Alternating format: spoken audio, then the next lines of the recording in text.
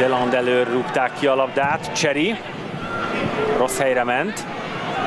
Sós viheti tovább lendülettől, bent van a 16-oson belül, jött a visszagurított labda, gól!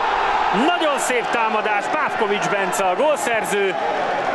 Ugye itt illet volna eleve felszabadítani, itt már nem merték Sóst bántani, de hogy ennyire üresen álljon 13 méterre a kaputól egy ellenfél, 16-oson belül azért az tényleg kuriózum, teljesen rosszul helyezkedtek a mezőkövesdi védők.